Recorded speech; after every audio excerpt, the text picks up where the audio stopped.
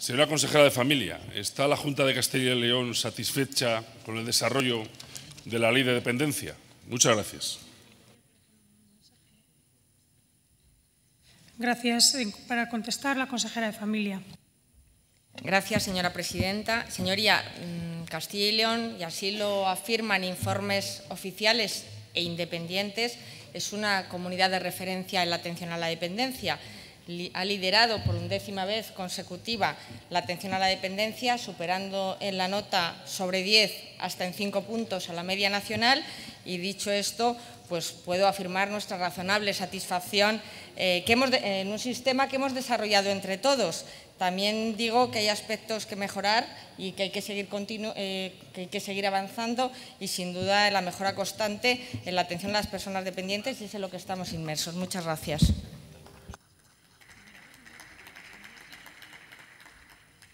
Gracias. Para la réplica tiene la palabra el señor Delgado Palacio. Muchas gracias, señora consejera.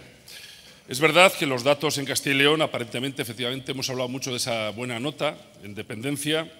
Los datos del sistema de autonomía de atención a la dependencia hablan de 85.055 personas dependientes que ya reciben prestaciones. De hecho, 108.000 prestaciones, porque hay personas, como usted sabe, que tienen más de una prestación que están atendidas el 98,62%, de las cuales 86.221 ya tienen, están reconocidas y que la lista de espera es pequeña, es decir, solamente estarían 1.186 personas sin atención de dependencia. Pero mire, luego la realidad es otra muy diferente.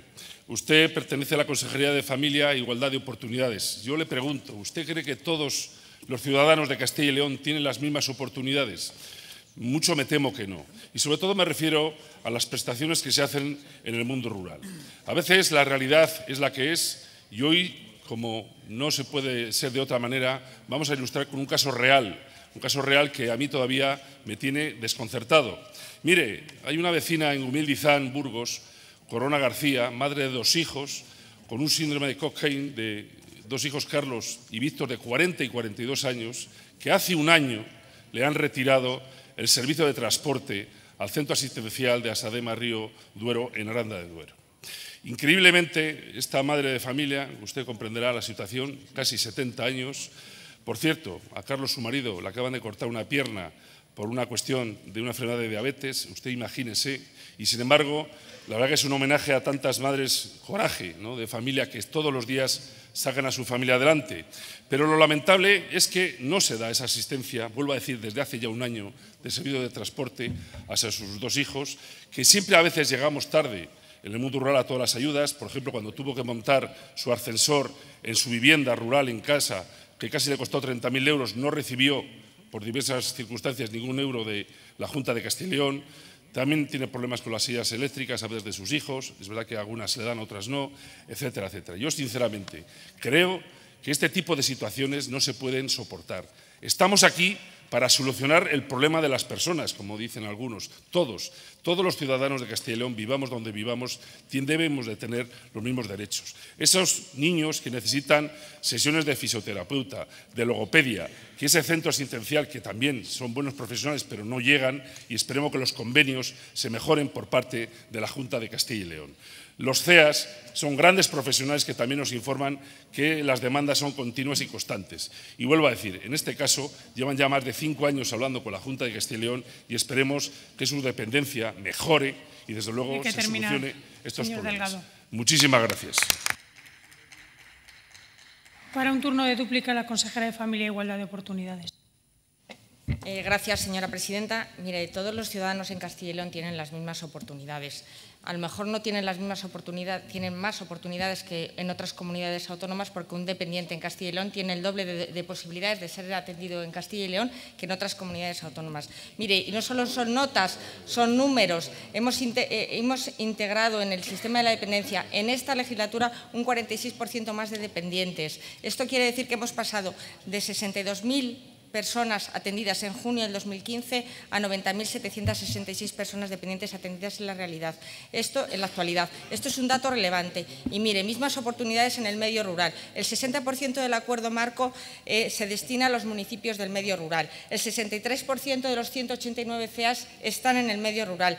Del total del presupuesto del año pasado para el servicio de teleasistencia, el 55% se destina al medio rural. La ayuda a domicilio se destinó al medio rural un 64% de su presupuesto total. El 64% de las plazas residenciales y centros de día para personas mayores están en el medio rural. El 68,5% de los centros multiservicios existentes en Castilla y León se encuentran en el medio rural. Y ello teniendo en cuenta que con carácter general prestar los servicios sociales en el medio rural es 52% más caro que hacerlo en el urbano, señoría. Mire, usted me pregunta un caso concreto al que, al que se refiere en su pregunta. Mire, estas dos personas, como usted ha dicho, tienen asignado un centro de día. Esto quiere decir que ese recurso existe en el medio rural y en, el municipio, en, un, en un municipio cercano al que viven. Y es cierto que estas personas han tenido un transporte adaptado hasta ahora. Me quedan 37 Uy, perdón, es que no, me está dando problemas a mí la pantalla. Disculpe, disculpe. Continúe, continúe, es que tengo bueno, problemas. estas dos personas han tenido un servicio asignado y financiado por la Junta de Castilla y León y el transporte. Sí que es verdad que, como usted sabe, porque lo hemos hablado, eh, no es un problema de falta de, ni del servicio ni del transporte. Y otra cosa, no hemos tenido ninguna queja en la consejería por parte de ningún familiar de estas dos personas. Usted, para un caso tan particular, también podría haberse puesto en contacto bien con nosotros. Yo hoy mismo nos hemos puesto en contacto con la entidad que ha gestionado y nos ha explicado las circunstancias del caso y nos ha contado. También me han dicho, y así se lo digo, que es un hecho puntual, que se le han posibilitado y se le han ofrecido a los padres muchas más cosas. Un momentín. Hemos evaluado la situación y le puedo asegurar que se va a garantizar nuevamente el transporte